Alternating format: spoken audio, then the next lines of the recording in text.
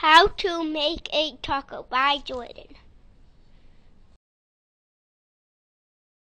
About the author. I have a brother. I am six years old.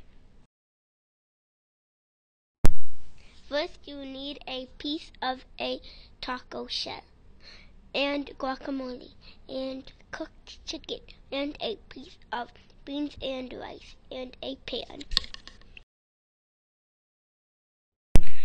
You need to put the stuff inside the taco shell.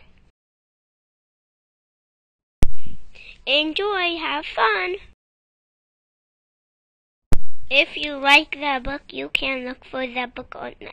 Some of my books are how to make a house and how to make a Lego car and how to make a paper airplane.